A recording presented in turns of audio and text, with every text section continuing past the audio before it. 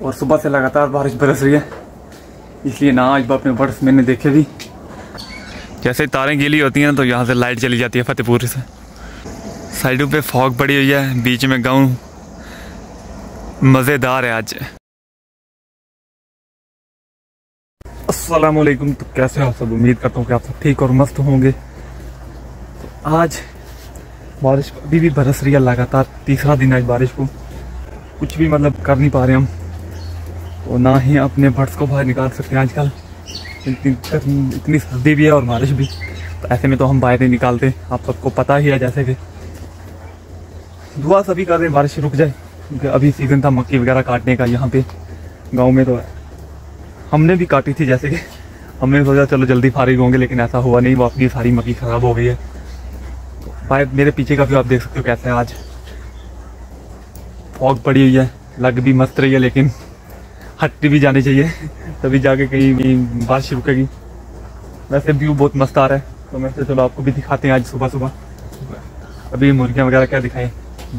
बाहर निकालें, थोड़ा घूमे वगैरह वो भी। आपको भी दिखाएँ, लेकिन ऐसा कुछ है नहीं आज। जैसे व्यू देख सकते हो पीछे का।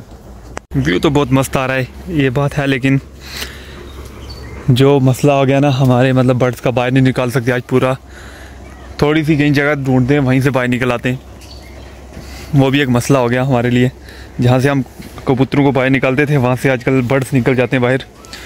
आज फूल वगैरह भी हैं अभी तक। लेकिन काफ़ी दिन हो गया हमने देखे भी नहीं है ये भी एक सोचने वाली बात है कि हम आए नहीं इस साइड पे। अगर आए भी तो देखे ही नहीं। खैर देखा कैसे ऊपर ऊपर जा रही है फॉग। वो थोड़ा इस साइड पे जाते हैं ताकि पेड़ों से निकले हम। तो बारिश कहीं रुके ना तो हम भी कुछ ना कुछ मतलब करें, बाहर निकालें उनको। अब कुछ काम करना अब एक साइड में सारे शिफ्ट करने हमने भी। एक साइड पे कम हो चुके हैं ना तो विंटर आ गया तो कहीं लाइट वगैरह लगानी पड़ेगी, नहीं तो दो साइड पे हम लाइट भी नहीं लगा सकते। एक साइड पे कहीं लाइट लगाएँगे ताकि आराम से रह सकें। आज यहाँ से देखो सर, क्या मस्त व्यू आ रहा है अपने गाँव का। साइडों पे फॉग पड़ी हुई है, बीच में गाँव मज़ेदार है आज।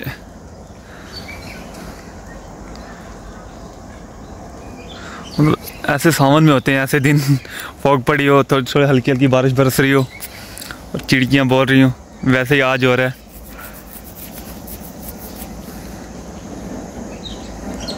लेकिन एक बात ये भी है ना कि लाइट भी नहीं है हमारे यहाँ पे।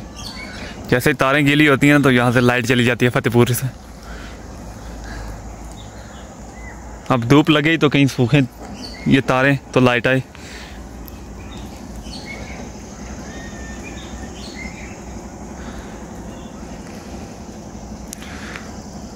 सामने जो फॉग पड़ी है ऊपर पहाड़ों पे, भाई साहब क्या मस्त लग रही है, ये तो मानने वाली बात है।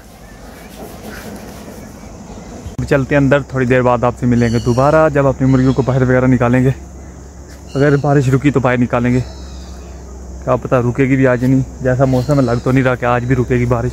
ये आया था मैं छत पे देखने के लिए, इस वाले जोड़े को। मैं सोचा क्या पता होगा भी या नहीं। और इतनी बुरी हालत की ना छत की। और लास्ट वीडियो में देखा था कि यहाँ से भाग गई थी। बड़ी मुश्किल से पकड़ी हमने अंधेरे में। और इतना गंद डाला ना। देखा, हालत ही ख़राब की हुई है ना, यहाँ पे देखो। ऊपर बैठी हुई। यहाँ से दिख भी नहीं रही है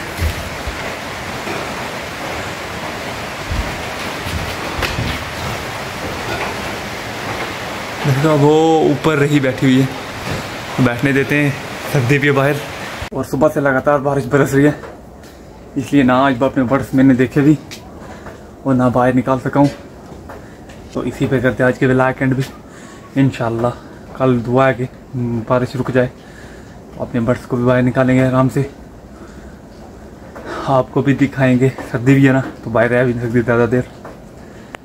इंशाल्लाह मिलते हैं अगली वीडियो में, तब तक के लिए अल्लाह हाफिज़।